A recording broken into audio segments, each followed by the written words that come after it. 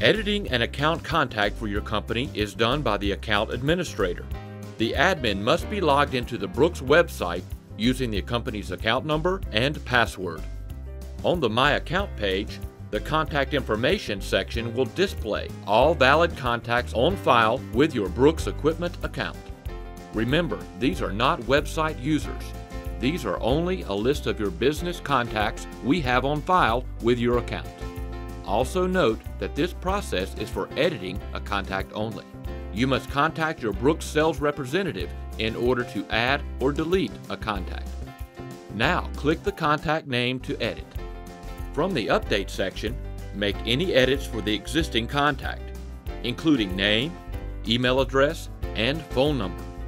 When done, click Save to generate a request to your customer service representative. If the save was unsuccessful, you will see an error message.